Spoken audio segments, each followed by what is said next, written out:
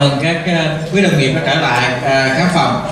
Uh, buổi sáng hôm nay thì theo chương trình chúng ta sẽ nói về một số cái mặt cắt cơ bản. Tuy nhiên chúng tôi sẽ tranh thủ uh, mở rộng từ những cái khái niệm cơ bản đó để mà phát triển ra một cái dạng uh, uh, bệnh lý phức tạp hơn. Đặc biệt là trong cái bài này chúng ta nói về những đồng phân. Thì sau cái bài đồng phân này chúng ta sẽ có cái trình diễn uh, siêu âm tim bào thai Okay, great. thì uh so heterotaxy, field diagnosis of uh, heterotaxy. The, uh, the the word heterotaxy uh, comes from the Greek language heteros, which means variable, and taxi, which means arrangement. cái chữ uh, hội chứng đồng phân hay là hội chứng bất định tạng này nó đến nó có nguồn gốc từ cái uh, chữ uh, của Hy Lạp tức là chữ hetero có nghĩa là nó có thể thay đổi bất kỳ và taxi là cái uh, định uh, vị trí thì có nghĩa là chúng ta hiểu một cách đơn giản là cái vị trí của tạng nó có thể thay đổi bất bất kỳ chúng ta có thể gọi là hội chứng đồng phân hoặc là hội chứng uh, bất định tạng I think one of the nicest pictures of heterotaxy comes from the New York Times from here. It just, oh, it's, oh, it's not up there. Uh-oh, no problem. em coi cái hình video đi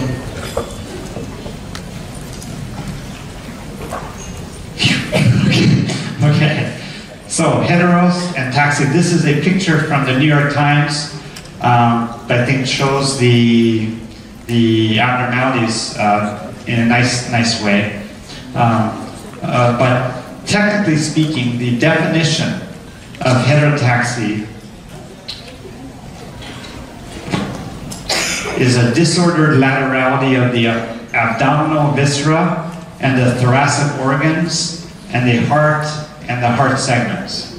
nói một cái một định nghĩa là hội chứng à, đồng phân á là có nghĩa những cái rối loạn về cái sắp xếp các bên tức là phân biệt các bên phải bên trái nó rất là rối loạn của cái tạng ở trong ổ bụng cũng như là các cơ quan trong lồng ngực cũng như là các phân đoạn của tim So what that means is that organs with right-left asymmetry can develop mirror image anatomy or just abnormal anatomy.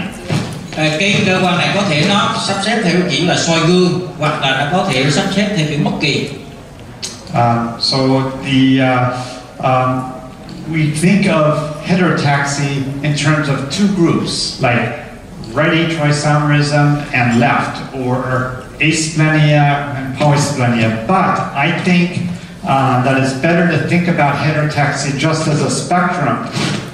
Heter could be asplenia on one end, polysplenia on another, or right atrial atrisomerism on one and left on the other. But many patients are somewhere in the middle. thì với cái hội chứng đồng phân này chúng ta có thể chia thành à, hai nhóm hay tùy theo cái loại thuật ngữ chúng ta sử dụng hoặc là theo thuật ngữ cũ chúng ta sử dụng là vô lách à, hoặc là đa lách theo cái thuật ngữ mới chúng ta gọi là cái đồng phân phải tức là tương ứng với vô lắc hoặc là đồng phân trái tương ứng với lại à, đa lắc tuy nhiên với tôi thì bản thân tôi thì không nên sử dụng cái à, một cách rạch ròi như vậy mà chúng ta nghĩ là cái hội chứng đồng phân đó là như một cái phổ của bệnh lý. Nó có thể thay đổi tùy theo cái mức độ từ mức độ này từ cái cực này nó chuyển qua cực kia. Nó là một cái phổ bệnh lý như vậy. Uh, these are the people that I mentioned uh, earlier this morning, the Van Prags, and then uh, Bob Anderson, who talk in terms of uh, the Van Prags talk in terms of polysplenia and asplenia, how I was trained. Bob Anderson talks in terms of right atrisomerism or left atrisomerism. Um, this is an unusual book where the, these great pioneers come together and they talk together but I don't think it's necessary to uh, go into those details. I'm going to share with you my the way I approach heterotaxy in, in a basic, practical way. hình này chúng ta thấy ở bên đây là hai vợ chồng của bác sĩ Van Praag và bên đây là một người anh uh, giáo sư Bob Anderson. Thì hai vợ chồng này sử dụng cái thuật ngữ cũ đó là ngữ vô và đa còn bên này thì sử dụng đồng phân phải và à, đồng phân trái. Và đây là một cuốn sách à, mà có rất nhiều cái tên tuổi lớn trên toàn thế giới ngồi lại với nhau và viết ra cuốn sách này tuy nhiên chúng ta sẽ không đi sâu vào cái vấn đề quá phức tạp mà chúng ta sẽ nói về cái quan điểm của tôi cái cách tiếp cận riêng của tôi như thế nào với cái hội chứng đồng phân này Uh, so, uh, but uh, I'm going to talk in terms of uh, asplenia. When I say asplenia, you may be thinking right atrial isomerism or bilateral right side, and that's okay. I'm going to use the word asplenia. à, tôi thì quen với cái chữ là vô lắc hội chứng vô lắc thì khi mà tôi nói chữ hội, hội chứng vô lắc thì các bạn có thể hiểu đó là cái đồng phân à, nhĩ phải có nghĩa là bệnh nhân nó có hai cái nhĩ phải hình thái là hai nhĩ phải. Hoặc là chúng ta nói là bệnh nhân đó có hai bên phải luôn tức là cái phía mà bên trái cũng là bên phải tức là bệnh nhân đó sẽ có hai bên phải hoặc là hai nhĩ phải. Cùng với cái chữ mà tôi sử dụng đó là vô lắc Uh, and I'll also be using the word polysplenia, which you may also consider as right uh, left atrial isomerism or bilateral left-sidedness. ngược lại tôi sử dụng cái chữ lách thì có nghĩa là đó là hội chứng đồng phân nhĩ trái nghĩa là bệnh nhân này sẽ có hai cái nhĩ trái mà không có nhĩ phải hoặc là bệnh nhân này sẽ có hai bên trái mà không có bên phải Uh, and both types, asplenia and polysplenia, can be associated with uh, with asplenia or at least functional asplenia, meaning immune dysfunction, as well as intestinal malrotation that may require a LADS procedure.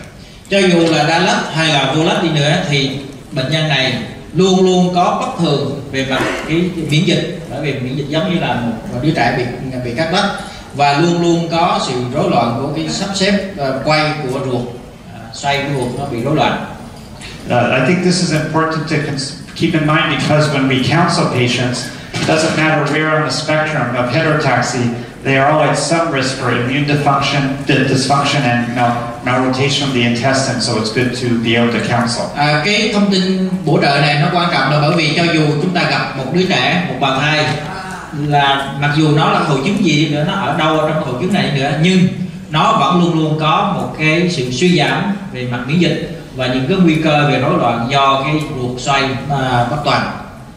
And it turns out, of course, most cases of heterotaxy have heart abnormalities. About 80, 80% um, have heart, heart abnormalities that can include dextrocardia, uh, systemic and pulmonary venous returns, and inlet and conal truncal defects, as well as other abnormalities of the heart. Trong cái hội chứng này thì các anh chị sẽ thấy là cái bất thường về à, bẩm tim mà tim mạch nó rất là cao là đến 80% trường hợp và nó bao gồm một số cái tổn thương này. thứ nhất là tim à, bên phải bất thường về cái hồi lưu tĩnh mạch hệ thống hoặc là tĩnh mạch phổi bất thường vì cái à, đường vào hoặc là cái à, đường ra tức là cái, cái vách nón Uh, and so you've seen this slide before already. So this is when we look at a patient with a complex heart, like we did yesterday. We had one or two complex hearts. Sometimes we could see all the segments and evaluate them. Sometimes, like yesterday, we we can't, so we bring them back, or we but we can evaluate uh, a complex heart abnormality one segment at a time. Bởi vì cái tổn thương này nó rất là phức tạp nó liên quan đến nhiều cái tiết đoạn khác nhau. Do đó chúng ta giống như ngày hôm qua chúng ta có thể đôi khi chúng ta phát hiện được cái chỗ này bất thường nhưng mà không khảo sát được chỗ khác thì cuối cùng chúng ta phải à, cho bệnh nhân nghỉ hoặc là chúng ta à, làm lại sau. Để làm sao chúng ta có thể khảo sát hết tất cả những cái phân đoạn đó. So, so while- the uh, 80% of patients with heterotaxy have cardiac abnormalities, many of them also have visceral abnormalities. So starting below the diaphragm, looking at the viscera, uh, splenic abnormalities, either an absent or multiple spleens, um, is common in, in heterotaxy, all types of heterotaxy, with a, range of different uh, of immune dysfunction. So many of these patients are at risk for bacterial infections. À, nhắc lại một lần nữa là cho dù cái hội chứng à, là bên phải hay bên trái gì nữa thì khi mà chúng ta quét ở dưới à, bụng thì chúng ta sẽ thấy là hoặc là bệnh nhân này không có lách hoàn toàn hoặc là chúng ta sẽ thấy có rất nhiều lách nhỏ khác nhau. Và cho dù nhiều hay ít lách gì đi nữa thì đứa trẻ này sau này nó vẫn có một cái nguy cơ bị suy giảm miễn dịch và do đó là cái nguy cơ nhiễm trùng à, nhiễm khuẩn rất là cao. Uh, there may be uh, the liver uh, can be midline, à, cái à, gan nó có thể nằm ở giữa bụng nó bắt từ bên này bên phải qua bên trái and particularly in patients with polysplenia, they, they are at some risk for biliary atresia, very severe form of uh, liver disease. Có thể là bệnh nhân cái đường mật nó bị sản as well as uh, at risk for intestinal mal- và như tôi đã malnutrition. nói là đó là cái ruột xoay nó bất toàn Some of these findings you can see in this uh, this chest film or babygram. You could see the heart's on the right. There's pulmonary venous congestion because of TAPVR. Uh, there's a midline liver malrotation with the small intestines on the right. Uh, ở đây là một cái hình x quang chúng ta thấy. Thứ nhất là chúng ta thấy cái tim nó nằm phía bên phải. Thứ hai nữa là tĩnh mạch nó phổi nó bị ứ máu do à, bệnh nhân này bị cái bất thường hồi lưu tĩnh mạch phổi hoàn toàn và có tắc nghẽn. Một cái rõ ràng nữa chúng ta thấy cái gan nó vắt từ bên này qua bên kia và cuối cùng là cái ruột nó bị xoay à, không hoàn toàn mà chúng ta thấy ở đây là cái ruột nó nằm phía bên phải chỗ này. So how common is heterotoxy? It's not that common. Oops. We see it in about one out of 10,000 babies. cái tỷ lệ cái tần suất có cao không thực sự thì nó không không có cao tức là khoảng 10 lần 10 ngàn lần sinh sống thì có một đứa trẻ bị hội chứng này So I guess that means like a, to do 70,000 births a year might be a seven a year. So it's not that common, uh, but uh, we see it a lot in the hospitals because these patients are the sickest patients with heart disease. So a lot of time in a hospital ward, there will be a disproportionate amount of patients with heterotoxy. như vậy nếu chúng ta tính theo cái cộng đồng chung á, thì khoảng 10 ngàn đứa trẻ sinh sống ra có một đứa thì cái tỷ lệ mà cái số lượng đứa trẻ sinh ra nó không nhiều. Tuy nhiên ở bệnh viện đặc biệt là ở các khoa tim mạch nhi thì chúng ta thấy nhiều bởi vì tất cả hầu như tất cả những đứa trẻ này đều là những đứa trẻ mắc bệnh tim bẩm sinh rất là nặng và yêu cầu là bắt buộc là phải vào bệnh viện cho đó chúng ta có cảm giác như nó rất là nhiều. Um, and like uh, most, uh, most disease is more common in men, heterotoxy more common in men, two to one. à, à, hầu như giống như rất nhiều bệnh lý khác thì à, nam giới thì thường bị nhiều hơn à, và ở đây cũng vậy tức là nam nó gấp đôi nữ So it accounts for only 4% of cases, about 4% of all congenital heart disease. À, tính trên tổng à, cái tim bẩm sinh thì à, hội chứng à, đồng phân này chiếm khoảng 4%. And again, a disproportionate share of deaths and morbidity related to heart disease is related to heterotoxy. Mặc dù cái à, tỷ lệ của nó là chỉ 4% trong cái tim bẩm sinh nhưng mà rõ ràng là cái cái tỷ lệ mà gọi là cái tự xuất cũng như là tần suất của nó rất là cao bởi vì đây là những cái bệnh lý tim bẩm sinh rất là nặng. So this is a nice uh, summary from Merrill Cohen in uh, this text, textbook by Jack Reicha, which goes over some of the common findings in patients with asplenia and calm patients with polysplenia. Ở đây là chúng ta thấy đây là tất cả những cái đặc tính ờ, cái những đặc điểm bệnh lý thường gặp. Thì ở đây là trong cái hội chứng đồng phân phải và đây là hội chứng đồng phân trái. Chúng ta thấy thì sẽ có hai cột như thế này. Now remember, a lot of patients are not strictly in one and polysplenia or, or um, asplenia, but this is a this is a useful guideline because if you know what commonly goes together, if you see one abnormality, you're more likely to be thinking about other abnormalities and uh, easier to pick up abnormalities when you're thinking about them. mặc dù có một số bệnh nhân nó không phải là hoàn toàn uh, thuộc về hội chứng này hoặc là hội chứng kia tuy nhiên cái con số này nó giúp cho chúng ta biết là khi mà chúng ta phát hiện được cái một cái tổn thương này mà tổn thương này thường đi kèm với tổn thương khác thì chúng ta sẽ có à, uh, chú ý khi chúng ta phát hiện tổn thương này thì cố gắng đi tìm những phát hiện những cái tổn thương khác mà có thể đi kèm với nó I'll just mention a few to point out. Uh, the second one, interrupted IBC, much more common with polysplenia. cái à, đặc trưng thứ nhất à, ở hàng thứ nhì là chúng ta thấy đó là cái đứt đoạn tĩnh mạch chủ dưới thì thường sẽ gặp trong cái hội chứng đồng phân nhĩ trái tức là bệnh nhân sẽ có hai bên trái chứ không có bên phải Đây. And uh, extracardiac TAPVR, which we saw yesterday, much more common in asplenia.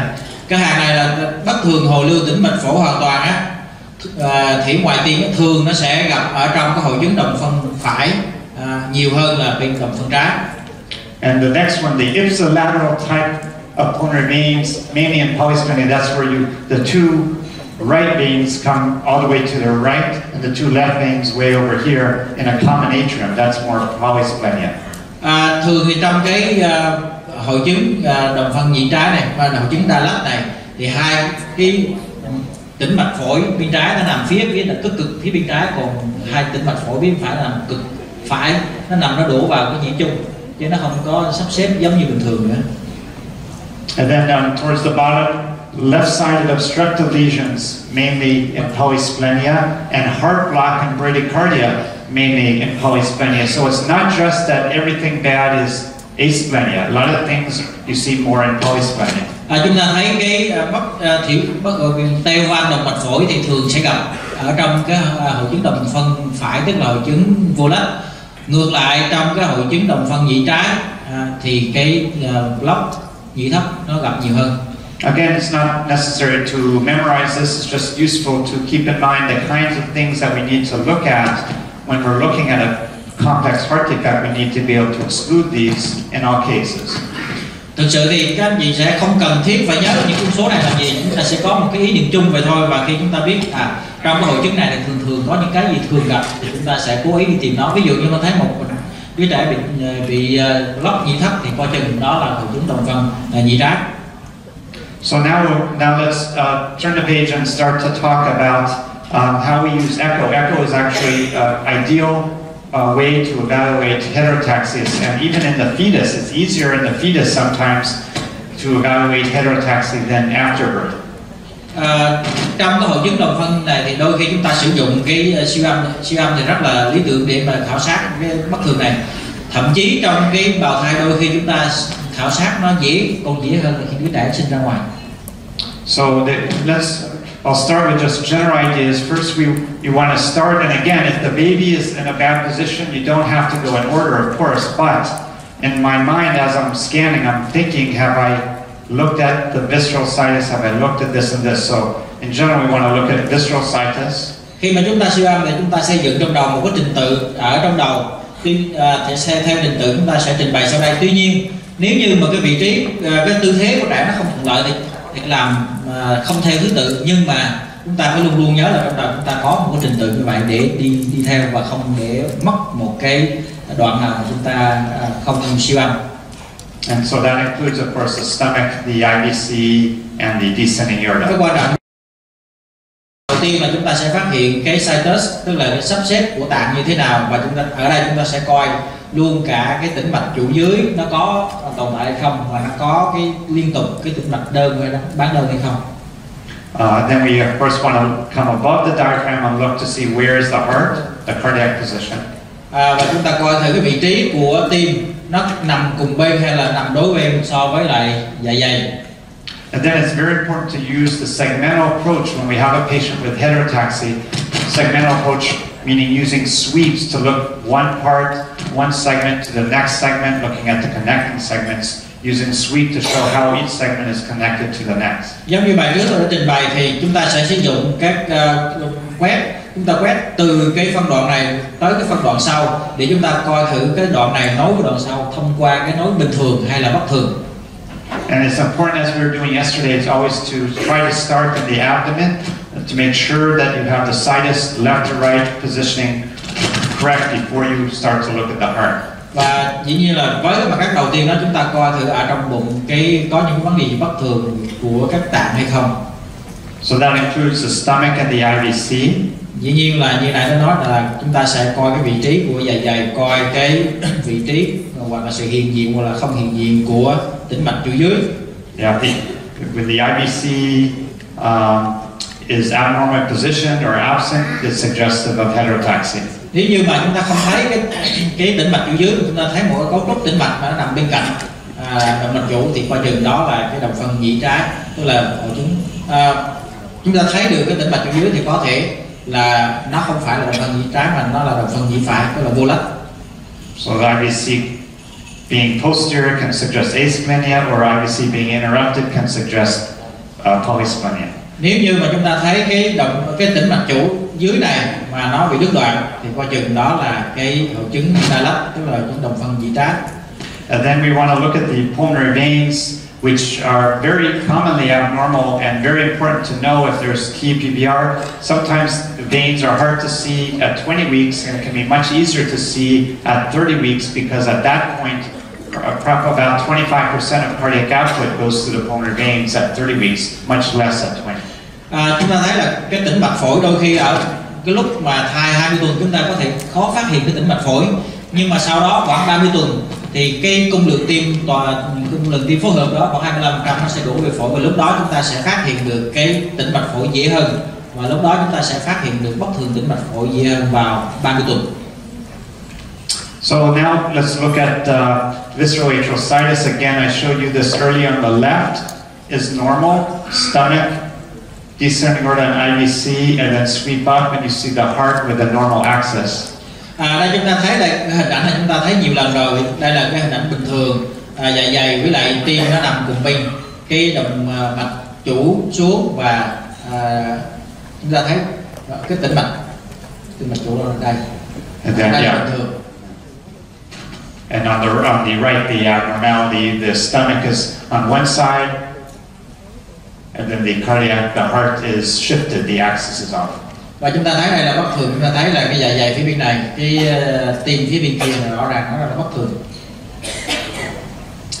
And here on the left, you could see the azygos, uh, the stomach's on the one side, the heart's on the other, and there's an azygos. And over here on the right, you can see the azygos very posterior.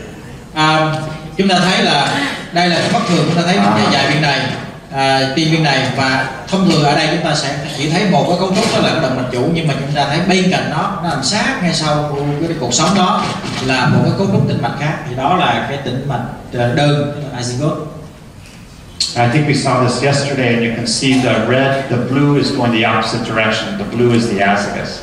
hôm qua chúng ta siêu âm một ca chúng ta thấy cái hình ảnh này rồi và ở đây chúng ta thấy rõ ràng cái hai cái hình này hai cái màu hai cái cấu trúc à, mạch máu nó đi theo hai hướng khác nhau nó mình nằm sắp bên cạnh nhau nhưng mà một màu xanh một màu đỏ thì một là của tĩnh mạch à, bán đơn và một là của động mạch chủ And here we can see this abnormality is a systemic venous return. This is an example of a dilated coronary sinus on the right with the left-sided on the sagittal view. You could show the left-sided superior vena cava draining into the coronary sinus nhưng mà thấy đây ở đây chúng ta thấy cái tĩnh mạch à, cái cái, cái xoang vành nó giãn rộng tức là nó là biểu hiện của tồn tại tĩnh mạch chủ trên bên trái và đây nó dẫn vào xoang vành nó đổ vào xoang vành qua bên phải There's many different forms of uh, total anomalous pulmonary venous return. This diagram shows you a very abnormal heart with a descending vein with total anomalous pulmonary venous return, um, uh, which is this one below the diaphragm. But you could also have the veins coming to the coronary sinus. They could be coming up above the heart or to the right atrium, or there could be a mixed form with some veins returning someplace, one place, and other veins returning elsewhere. chúng ta thấy trong cái sơ đồ này à, phóng rộng ra chúng ta thấy ở bên trong tim nó có bất thường rất là nhiều cả về trong tim nhóm tim một thấp ở chỗ này à, với các buồng tim nó bị thay đổi về kích thước tương quan với nhau đi từ dưới lên trên chúng ta thấy thứ nhất là cái tĩnh mạch bốn cái tĩnh mạch phổi này nó hợp lưu với nhau nó nằm phía sau nhĩ trái và nó có một cái tĩnh mạch dẫn xuống đổ vào cái tĩnh vào trong ở cái chỗ tĩnh mạch cửa trong gan rồi sau đó đổ vào tĩnh mạch chỗ dưới. Ở giữa là cái tĩnh bốn tĩnh mạch phổi nó hợp lưu và nó đổ vào cái xoang vành à, cái thiểu tại tim. Và trên đó là bốn tĩnh mạch phổi nó hợp lưu và nó đổ vào tĩnh mạch thẳng lên nó đổ vào cái tĩnh mạch vô danh phía bên trái và qua phía bên phải. Tuy đây là những cái thể bình thường còn có một số trường hợp nó có thể dưới à, một số tĩnh mạch phổi đổ xuống phía dưới này một số tĩnh mạch phổi đổ phía trên hoặc là đổ tại tim cho nên có thể đó là thể phối hợp. Total anomalous pulmonary venous return very, can be very tough to diagnose, but uh, we'll go over some clues uh, t- uh, today about how to detect total anomalous pulmonary venous return in your practice. à, cái chẩn đoán à, bất thường hồi lưu tĩnh mạch phổi là hoàn toàn đôi khi nó rất là khó để mà chẩn đoán. Tuy nhiên trong ngày hôm nay thì chúng ta sẽ đi lần lượt có thể chúng ta sẽ à, à, có cách tiếp cận để mà chẩn đoán được cái tĩnh mạch phổi bất hồi lưu tĩnh mạch phổi bất thường hoàn toàn này So this is an example of total anomalous pulmonary venous return with the descending vein here on the left. You can see it coming down, turning around, and it always obstructs at the ductus venosus. And here on the right, you can see the, where it obstructs. ở đây chúng ta thấy là cái tĩnh mạch à, nó đi xuống và nó đổ vào ngay cái vị trí của cái ống tĩnh mạch ở trong gan đó thì đây ngay cái vị trí mà đổ vào cái ống tĩnh mạch này đây là cái vị trí mà thừa cây hẹp nhất à, ở đây chúng ta thấy với bầu chúng ta sẽ thấy cái chỗ đây là cái chỗ sẽ hẹp So babies with total point means you turn below the diaphragm always will obstruct after birth. The ones above the heart sometimes obstruct. The ones to the heart generally do not obstruct. And, and that's important because if they are obstructing after birth, they need urgent intervention. Otherwise, these babies may not survive. cái vấn đề chẩn đoán cái bất thường hồi đưa tim mạch phổi mà có tắc nghẽn hay không nó rất là quan trọng trong cơ thể mà dưới tim á tức là đi qua dưới xuống dưới cơ hoành mà xuống tim đổ vào cái ống tĩnh mạch này thì hầu như 100% là nó có tắc nghẽn với cái thể trên tim á thì có lúc nó bị tắc nghẽn có lúc thì không thể trong tim hoặc là thể tại tim nó ít khi nó tắc nghẽn nếu như chúng ta chẩn đoán được tắc nghẽn rồi thì cái việc xử lý chúng ta phải xử lý cấp cứu còn nếu không á mà chúng ta không chẩn đoán được hoặc là chúng ta không xử trí cấp cứu được trong trường hợp tắc nghẽn này nó sẽ bệnh nhân sẽ nhanh chóng tử vong So as we're going through the heart segmentally in terms of heart position, visceral situs, pulmonary systemic venous returns, now we'll go to the um, atrioventricular connection. từ nãy giờ chúng ta nói về cái tĩnh mạch à, cái theo cái tiết đoạn à, phân đoạn rồi chúng ta đi qua tĩnh mạch rồi à, tĩnh mạch hệ thống tĩnh mạch phổi rồi bây giờ chúng ta nói về cái nhĩ à, ta nói về tầng nhĩ So uh, we want to look at how are the atria connected to the ventricles. sau đó chúng ta sẽ coi là cái nhĩ này nó nối với lại thất như thế nào I don't know. Is this okay? The noise? I don't know. It's okay. Okay. So the uh, uh, we I, I went over this. Uh, uh, maybe now I can talk to you briefly if you're interested. The hand rule um, helps determine whether the heart is D-looped or L-looped. It, it corresponds to the situs of the ventricles. If the ventricle is a normal situs, it's D-looped. That's normal. If the ventricles are embryologically, if they loop the other way, it's called L-looped. That's abnormal. À, bây giờ tôi nói, qua một khái niệm hơi phức tạp một xíu là chúng ta sử dụng cái bàn tay để phát hiện là trong quá trình hình thành bào thai từ lúc mà tim nó là, một cái ống tim nó nó quay qua bên phải hay là quay qua bên trái khi mà cái ống tim nó quay qua bên phải một cái chúng ta gọi là đi lúc thì đó là bình thường trong tất cả các trường hợp bình thường còn nếu như tim mà nó quay qua bên trái một cái thì chúng ta gọi là uh, eo lúc thì đó là bất thường So the uh, this is important. em ơi chắc là phải chỉnh cái cái cái này là nó ồn quá Yeah.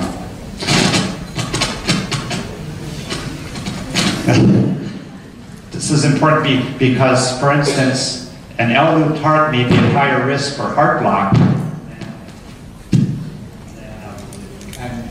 em chắc là đưa cầm đi phải ăn này nó ồn nó sẽ bị ảnh hưởng Okay, maybe it's better. So uh, I'll just briefly tell you the right. hand- Uh, what we do is we put the right hand. Uh, the right hand should quote unquote fit the right ventricle.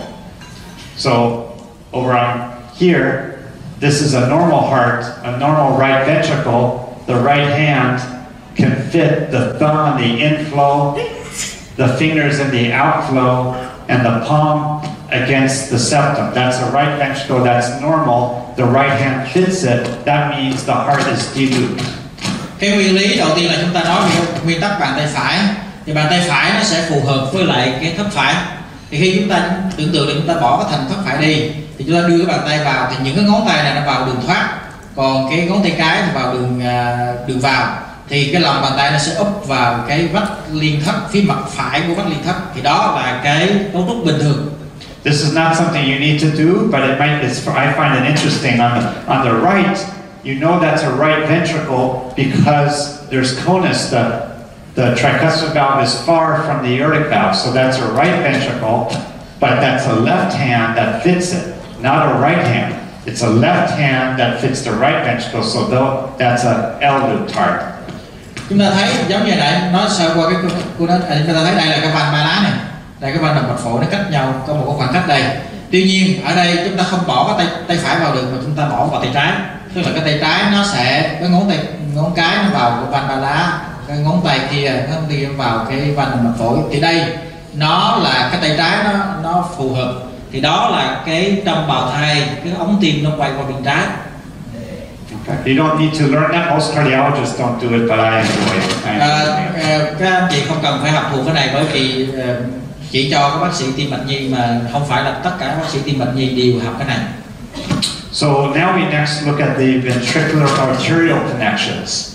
sau đó chúng ta đi tiếp thêm một đoạn nữa là chúng ta coi cái kết nối giữa à, thất và cái đại động mạch như thế nào And what's this? This is cái này là cái gì transposition. Yeah. So we'll go over that, uh, the, all the pathology uh, later today. Uh, that's we look at the alpha tract abnormalities. Many patients with heterotaxy will have alpha tract abnormalities, including uh, especially pulmonary alpha tract obstruction. Pulmonary stenosis very common with heterotaxy. cái uh, hình trước đó là uh, cái một trường hợp chuyển vị đại động mạch chúng ta sẽ nói trong các phần sau tuy nhiên quay trở lại cái hội chứng đồng phân thì chúng ta biết là trong cái hội chứng đồng phân đặc biệt là đồng đồng phân nhĩ phải thì hầu như luôn luôn có sự hiện diện của cái bất thường đường thoát và đặc biệt là đường thoát thất phải tức là cái động mạch phổi nó bị bất thường But uh, in contrast, systemic outflow tract obstruction like aortic stenosis or coarctation is much less common in heterotaxy, and when it occurs, it's generally in poly- patients with polysplenia ngược lại cái hội chứng tim trái thiểu sản thì nó lại ít gặp trong cái hội chứng này. Và một khi nó xuất hiện á nó nó có xuất hiện thì thường nó chỉ xuất hiện trong cái hội chứng đồng phân dị trái chứ không phải là phân đồng phân dị phải. And because of the possibility for outflow tract obstruction, uh, babies with uh, heterotaxy are at risk for uh, ductal dependent heart disease, so you want to monitor for retrograde ductal flow in the fetus. bởi vì có thể có bất thường về cái đường thoát đặc biệt đường thoát à, thất phải á. Cho nên có thể là tứ máu phổi nó phụ thuộc vào ống động mạch do đó các anh chị phải coi lại. Khi chúng ta phát hiện chúng ta phải coi được cái dòng máu ở trong qua cái động ống động mạch như thế nào. Nó phải là đi ngược dòng hay không? Và khi đi ngược dòng thì coi chừng đó là trường hợp mà phụ thuộc ống sau khi sinh ra. So atrial bradycardia and heart block, as I mentioned earlier, that generally occurs in the presence of uh, polysplenia. You could get a slow heartbeat because you have no sinus node, or you can have actually heart block develop from early on, or it may not be until third trimester, even after birth. chúng ta thấy là đôi khi trong trường hợp mà đồng phân nhĩ trái á, thì bởi vì coi như là nó mình hiểu đơn giản là có hai cái nhĩ trái cho nên nó không có nhĩ phải không có nhĩ phải thì nó sẽ không có cái nút xoan do đó nó sẽ không có nút chủ nhịp đây cho nên đôi khi trong trường hợp mà đồng phân trái đó nó sẽ bị nhịp rất là chậm hoặc là bị như thế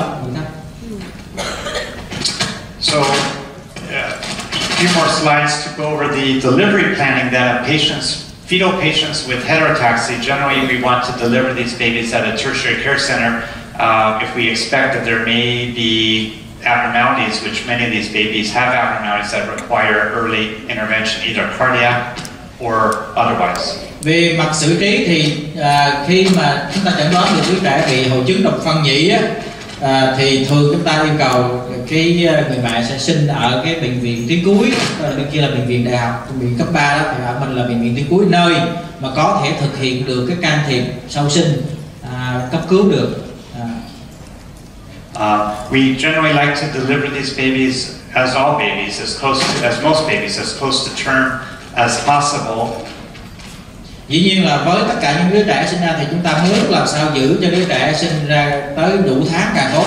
Thì trong trường hợp này cũng vậy.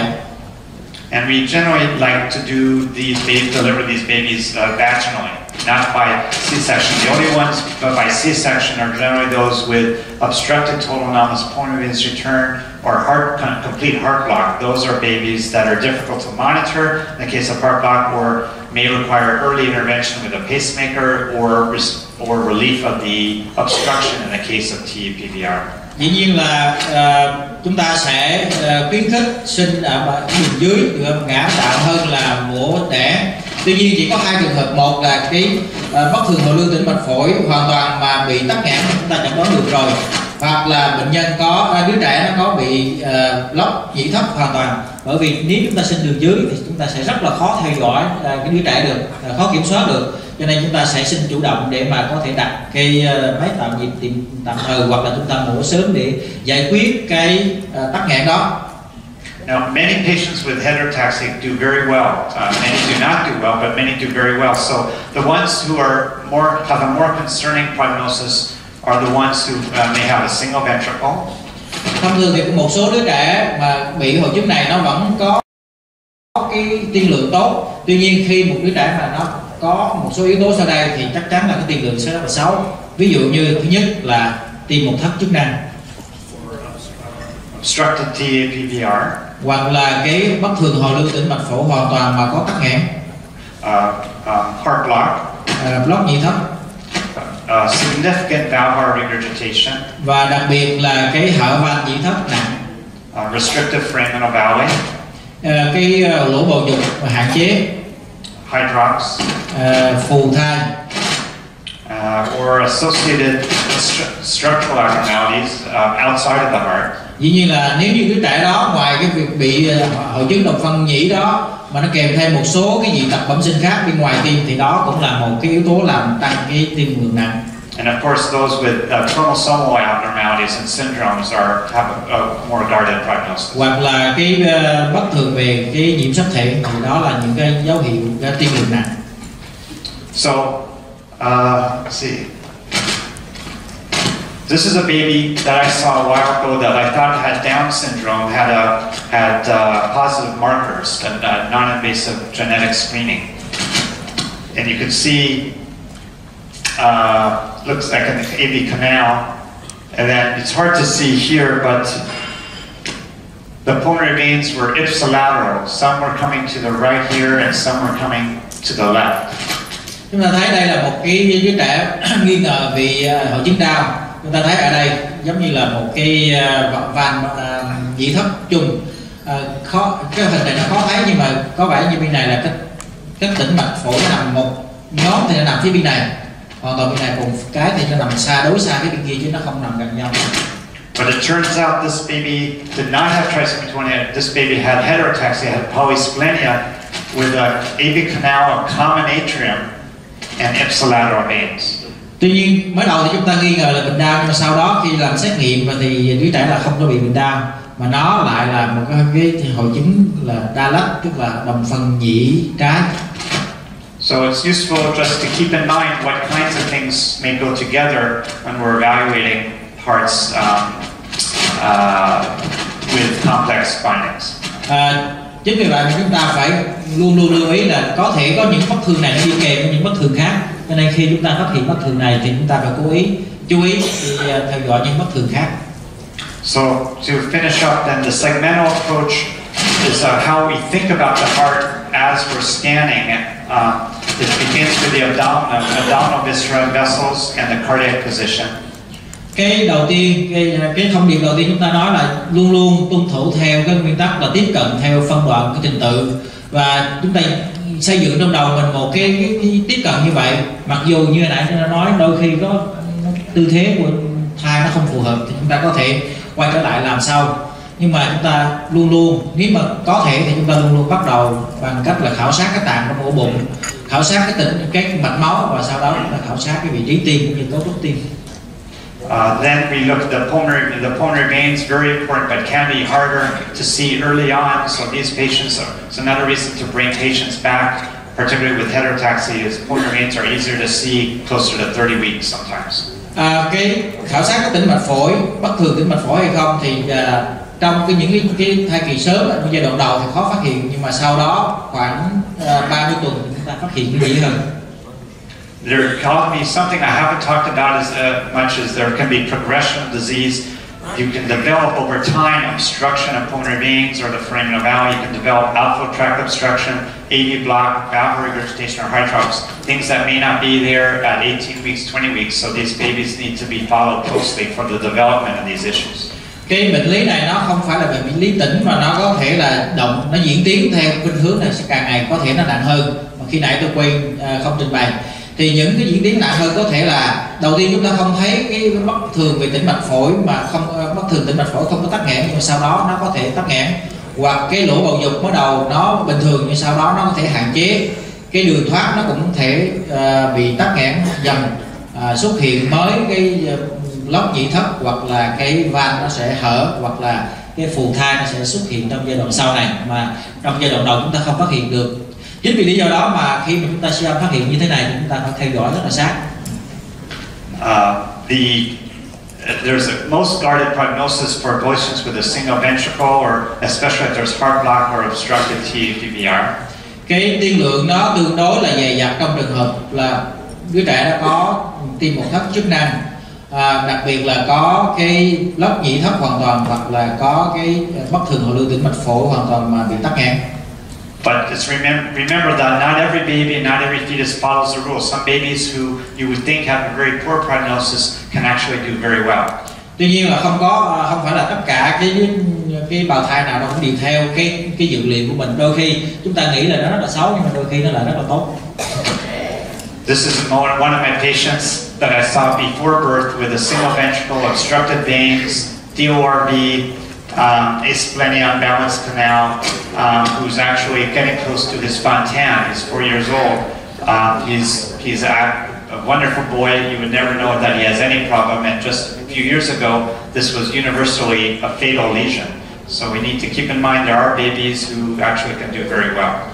À, đây là một cái bệnh nhân của tôi thì trước đây à, phát hiện trước sinh à, với cái chẩn đoán là hội chứng đồng phân nhị phải cái cân nhị thất à, hoàn toàn mất cân bằng cái à, hội thấp thất phải hai đường thoát à, bất thường hội lưu tĩnh mạch phổi hoàn toàn bị tắc nghẽn. Và sau đó thì chúng ta cố phẫu thuật theo hướng một thấp chúng ta phẫu thuật lên sinh và sau này chúng ta sẽ đi phẫu thuật à, phong tân. Thì đứa trẻ này có vẻ rất là, là tốt xin cảm ơn